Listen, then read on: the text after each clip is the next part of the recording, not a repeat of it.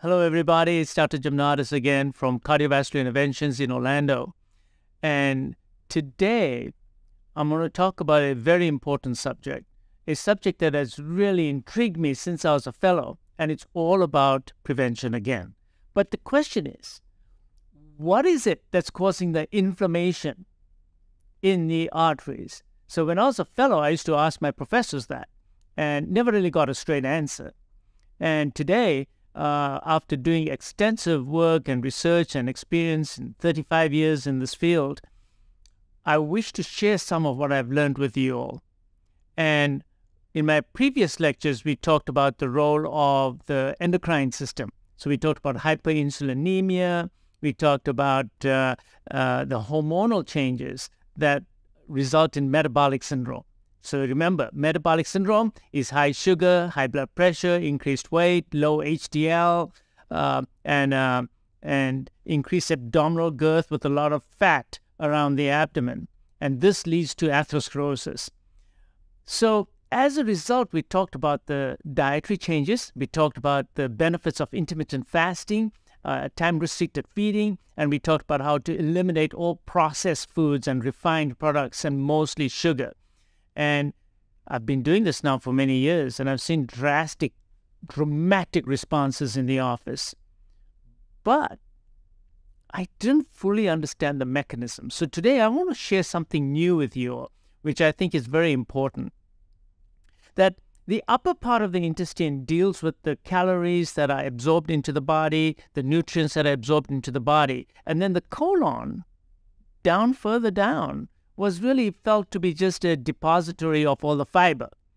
And as I did more and more research, I found out that actually, why why would we have such a large colon full of fiber and undigested matter?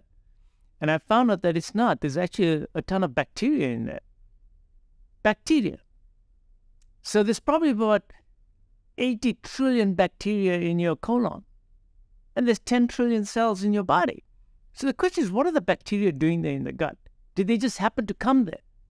Why are they there in the first place? How did they get there? And if they're in there, how come they're not getting into your bloodstream?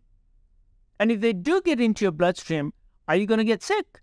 Or maybe a little bit of it is getting into your bloodstream and making you sick and causing atherosclerosis and metabolic syndrome. Could this be a problem? Could this be an answer? Do the gut bacteria have only one type? Or are there many types of bacteria in the gut? There's also viruses, by the way. There's probably about 380 trillion viruses in there. And of course, there's some fungi as well over there. So, what are they doing over there?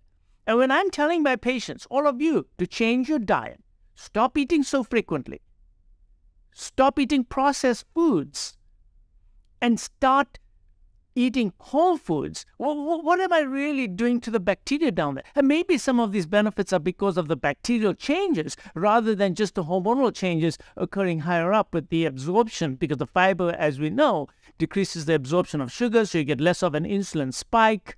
And because you get less insulin spike, you're not going to get insulin resistance. If you don't get insulin resistance, you're not going to get a fatty liver, you're going to lose weight, and you're going to feel better. And we've seen these results. But I think there's more to it than meets the eye.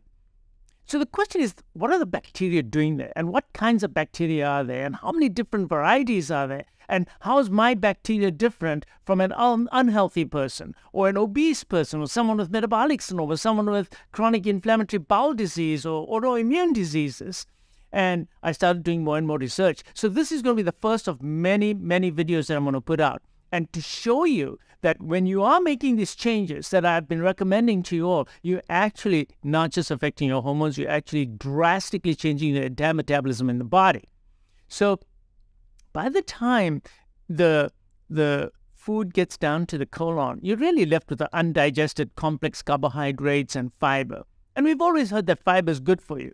But nobody really knew why. I mean, it's just because it gives you a big poop? I mean, so what do you have a big poop? How does that make you live longer? How does that lower your blood pressure? How does that decrease your chances of developing metabolic syndrome? We really don't know the full answers, but it is the fiber that is feeding the bacteria that's one part of the story.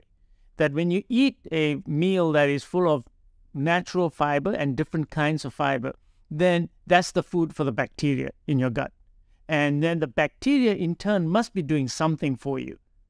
So if it's a commensal relationship, it's in there, it's not going to harm you, it's not going to do you uh, harm unless it gets into your bloodstream. How does it stay inside? What products are the bacteria producing? We'll go over all this in my future videos in great detail. But today, I want to tell you why this is important. The gut bacteria, we know produce substances. We know that. That help the gut uh, lining so that the gut lining is healthier. We know it affects the immune system because your immune system is keeping the bacteria there and letting the food come in. So we know that it's affecting your immunity. And I told you that heart disease is an inflammatory condition. Coronary artery disease is inflammatory. Congestive heart failure, myocarditis, cardiomyopathy, these are all inflammatory conditions and they're associated with metabolic syndrome and fatty liver and all the inflammatory markers are really, really high. So we know there's inflammation going on. So we know that there's a multitude of factors that are going on in your gut and let's try to explore them. So what's the mechanism? What is it that I'm really after? I want to see why. Why is it that some patients are losing weight but they're still sick and they're inflamed. So they've lost their weight. The insulin levels have come down. They're still sick. They still have inflammation. They may have inflammatory bowel disease. They may have joint problems. They may have mental fog. They may still have high blood pressure. They're still getting progressive atherosclerosis. They're getting more and more coronary artery disease. So when we look at the mechanism, there's a thing called lipopolysaccharides that have really intrigued me. And lipopolysaccharides are the bacterial wall linings. So the lining of all the bacteria, the walls of them, they, they call lipopolysaccharides. And I'm going to call them LPS for short. So we have now shown that when patients have lipopolysaccharides in the bloodstream, then that causes inflammation. The lipopolysaccharides then circulate around the body. Of course, first and foremost, they go to the liver. And when they go to the liver, they cause inflammation in the liver and they cause fatty liver changes. Which brings me to my observation myself that I have seen patients who've brought the insulin levels down, who've lost weight, but they still have a fatty liver. I have seen patients who've got severe coronary calcification and they do not have diabetes, yet they have a very fatty liver. And they don't have alcohol. They don't have chronic liver disease uh, like hepatitis B or hepatitis C, but they have a fatty liver. And all of a sudden, the light bulbs go off that this fatty liver is possibly caused by the inflammation that's coming from the gut. And it's these lipopolysaccharides that are supposed to stay in the gut are getting into the bloodstream and getting into the liver, and then in the liver creating the fatty liver. And then, of course, it moves on to the rest of the body. In the liver, it'll also cause insulin resistance.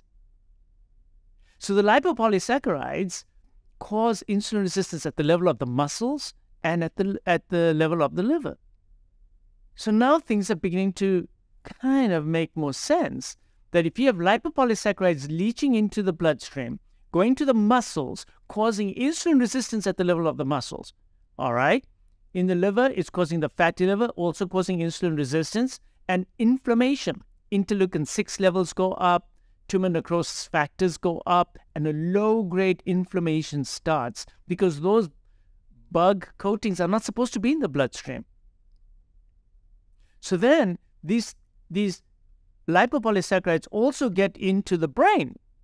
And we know that the blood brain barrier is supposed to keep all these things out. But there's evidence to show that when lipopolysaccharides get to the brain, they can actually breach that. And they can actually get into the brain and cause inflammation. And when they cause inflammation in the brain, uh, in the astrocytes and, and, and the cells that are in the brain, you can actually see that on CT scan showing small vessel disease. And this has intrigued me because these patients that come to me with, with metabolic syndrome, coronary artery disease, I do a CT of the head because oftentimes they have depression. And the only thing that comes back positive is evidence of small vessel disease. And then when you ask my neurology friends, what does all that mean? There's no real answer. So wait a second, so you're getting small vessel disease in the brain. These patients have the phenotype of depression. Well, when, when, in the animal models, in, in, mammals particularly, when they when they're sick, they have the sickness syndrome. The sickness syndrome means they get withdrawn, they don't want to interact socially, they just want to stay on their own. That's that's nature's protective mechanism that hey, listen, you you sick, you need to heal, so you need to kind of isolate yourself. So could this be a protective mechanism that is built into us that if you have lipopolysaccharides getting into your bloodstream, in turn, it's going to affect your brain and cause depression. And I look around.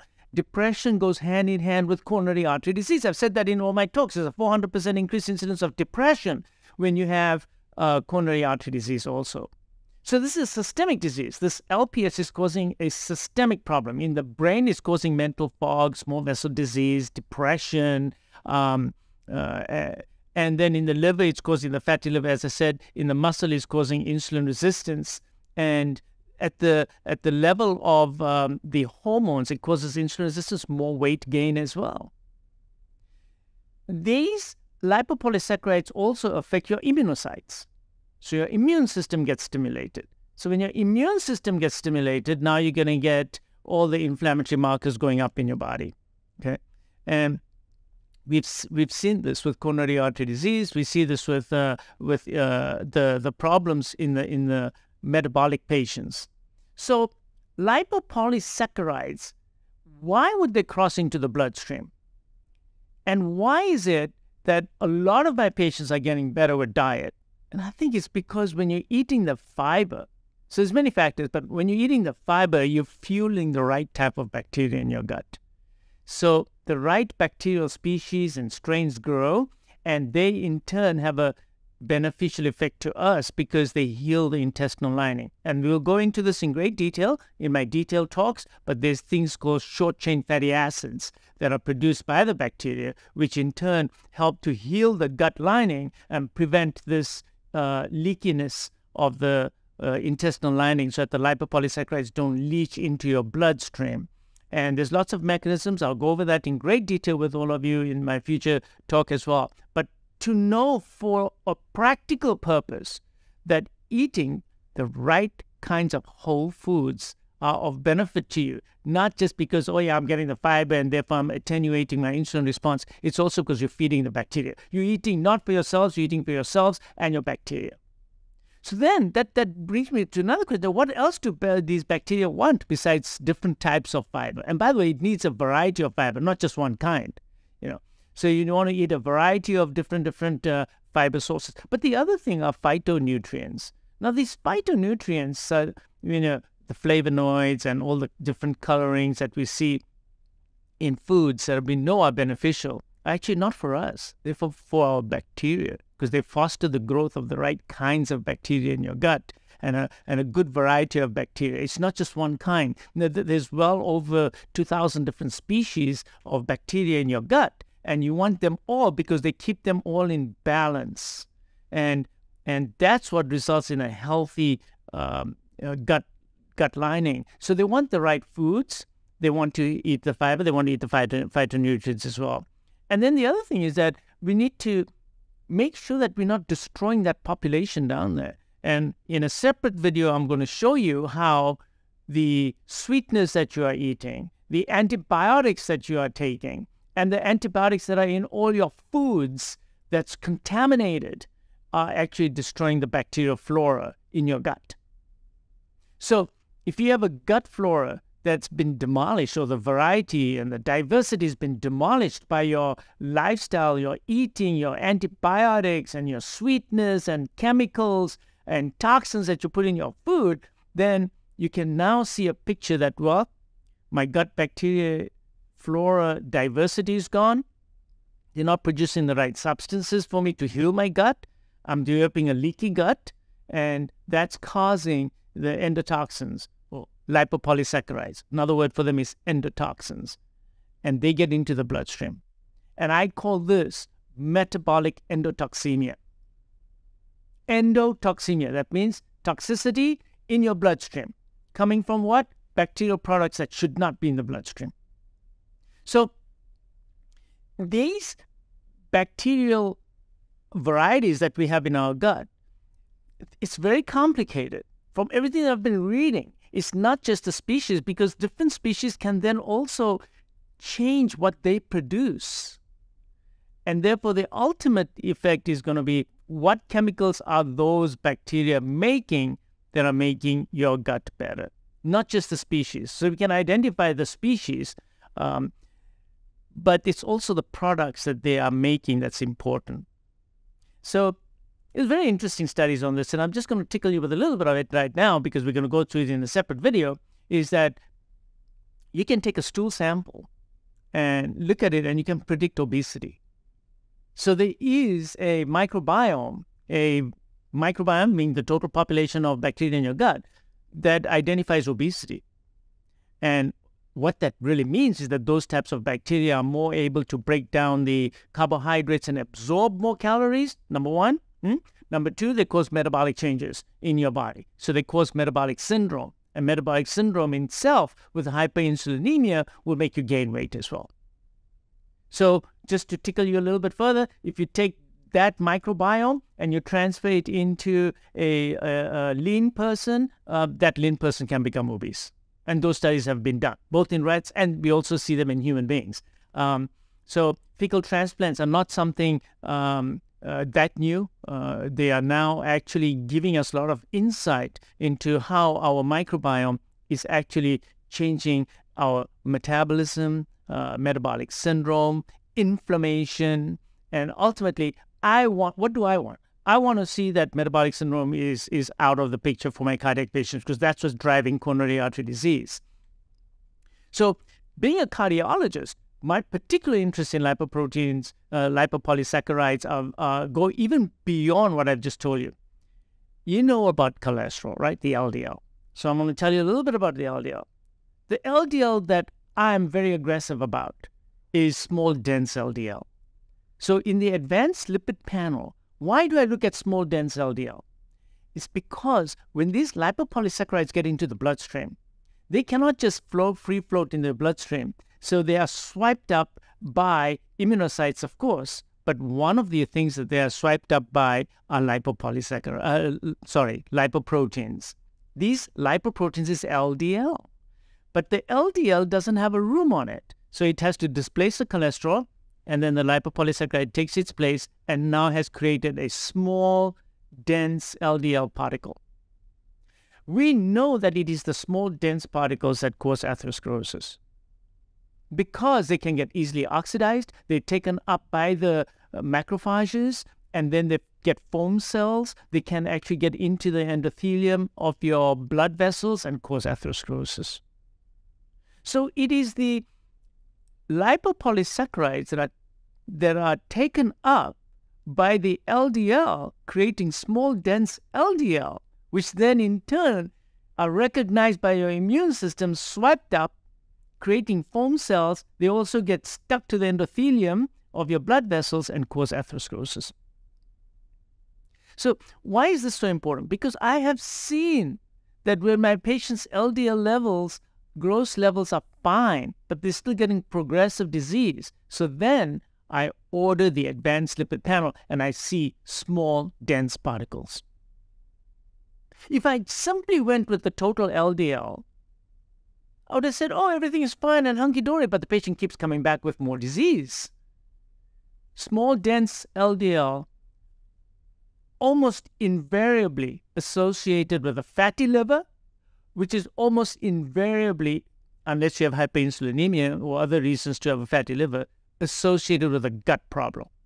And you have either due to dysbiosis, the term that I will use over and over again in my future lectures with you, because this is the first intro, but dysbiosis, wrong bacteria in your gut, leaky gut, a dysfunctional gut lining, a lining that is just not working well, not only because of the bacterial products, but there's other things that we are doing that are destroying our gut lining. Even stress destroys your gut lining. So I know I'm going all over the place here, but look at this. You know that when you're stressed out, you feel it in your gut, and your gut grumbles. You may get some diarrhea. You may get even abdominal pain and all these things. Studies have been shown that this stress increases the lipopolysaccharide circulation in your bloodstream. How did that happen? One bad examination, one bad interview, and you're getting lipopolysaccharides into your bloodstream It's because there's a big connection between the brain and the gut lining. Because ultimately, look, the gut lining is what's determining the outside world from you yourself. So there has to be a big connection to the brain, and it's through the vagus nerve, which is the largest nerve in the body. So what happens is that this excessive stress in your brain works both ways. Your brain should know what's going on in the gut, but the gut also sends signal to the brain, vice versa. So what happens when you are stressed out? Your vagus nerve pours out, goes to the gut, and there it releases cortical, uh, uh, uh cortisol releasing hormone, which then goes to the immunocytes in your gut, and 70% of the immunocytes in your gut, and causes release of some peptides from mast cells and other cells, which then destroy the lining, the porosity of the of the gut lining increases. So your gut lining becomes leaky. Now this is really scary. That means one episode of severe stress can cause leakiness of your gut for hours, and this has been shown, shown in studies. So there are many factors, the bacteria crossing over, leaking of, leaking of the gut, inflammation. It all seems to start with having a healthy lining. So you need to have a healthy lining, healthy bacteria, and then deal with the problems that these are all creating in the body. From the practical standpoint, right? From the practical standpoint, we've already made the inroads in this. We talked about eating the right kinds of foods we talked about exercise. Exercise. Exercise is very healthy for you. And we know that one of the reasons is it actually helps the gut bacteria in your gut lining. Sleep. Bad sleep, bad circadian patterns affect the gut lining as well. It affects the porosity of the gut lining. There's an intimate connection between all these lifestyle factors, which we will go over in great detail. Each lecture that I'm going to do thereafter from now onward it's going to be about half an hour long. And we'll deep dive into each one of these factors. How does sleep affect your gut bacteria and its lining for example? How stress does it itself Is and how that affects everything. Um, and of course all the dietary things that i've already talked about. And whether you can actually change your bacteria and eating fermented foods for example um, is that helpful? Are probiotics more helpful than fermented foods? Well, I'll tell you right now, it's the fermented foods uh, probiotics can be helpful in some cases. Um, so, and then we'll talk about gastric bypass surgery and how those patients are amazing because they have a complete transformation of their gut bacteria. And that's what's causing the sudden reduction in their weight, metabolism gets better, complete reversal of type 2 diabetes, complete reversal of type 2 diabetes. Inflammatory markers all go down. Fatty liver also gets better. So these entire changes are occurring. You know, we think that it's, oh, it's gastric bypass. It's all to do with the bacteria. So I'm tickling you all with the idea that it's really coming down to this. And some people say, well, a small amount of lipopolysaccharides get into the bloodstream anyway. Well, I think that's that's appropriate. That is, after every meal, you're going to get a little bit of lipopolysaccharides getting into the bloodstream inevitably because it's not 100% um, uh, intestinal closure to uh, to the products.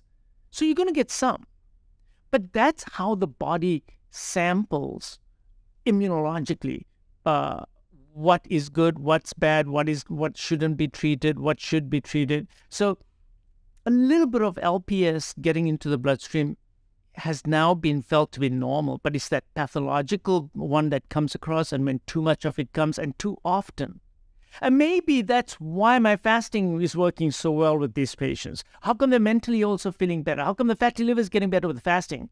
Because you're not getting that frequent LPS getting into the bloodstream every few hours, LPS getting into your bloodstream, causing inflammation. Because we talked about the frequent increase in insulin. Now I'm talking about the frequent increase in LPS getting into your bloodstream as well, causing a chronic low grade inflammation in the bloodstream, the metabolic endotoxemia, as I was saying before. And then when you have insulin resistance, that compounds the problem because one of the issues that insulin is supposed to do is it dampens the immune response to this low grade LPS. But when you have constantly high insulin levels, you're not going to be able to dampen this response. So I think that there's so many exciting things here that I want to talk about um, from the practical standpoint for all of you, because you're watching this channel, you have already probably implemented the dietary changes, which is stay away from processed foods. Do not eat artificial foods or foods that have chemicals in them that you, you can't even spell them. You don't even know what they are. If you if you can't pronounce that word in that food label, and first of all, if it even has a food label, it's suspicious. And you've already made those changes. Do not eat it because it's not just affecting you. Much of your changes that are happening are because of the bacteria. Don't forget now, you're a symbiotic relationship with your bacteria. It's not just what you're eating for almost 50% of the micronutrients in the body are probably produced by the bacteria and then liberated into you, Me- meaning that your 21,000 genes are not enough to explain the complex physiology of the human being.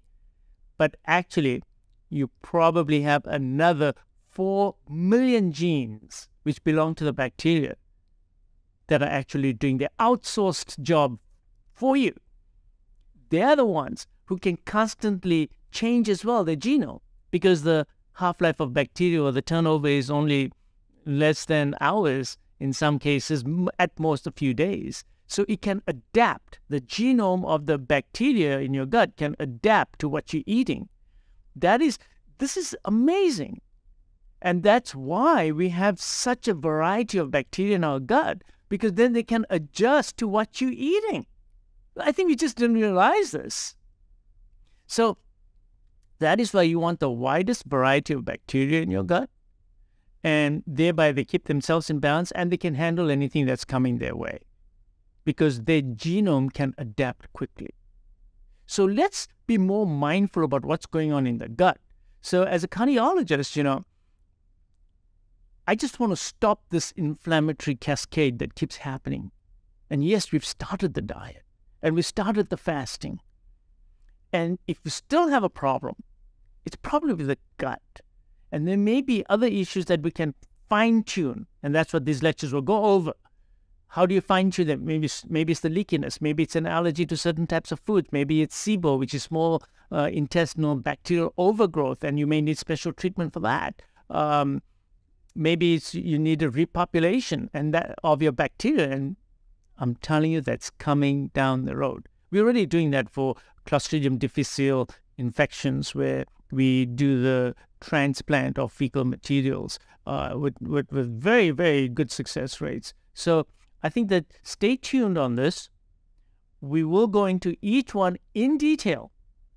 And for those, I'll actually show you some slides and things so you can remember them and make it memorable. But this is my intro to my next series, which is going to be about inflammation from the bugs in your gut. So stay tuned. I hope that made you excited about the next series. Take care and congratulations that you're already ahead of us by doing the dietary changes that I've recommended before. But now you'll understand how it's helping you even more. Take it to the next level. Take care, everyone. Bye bye.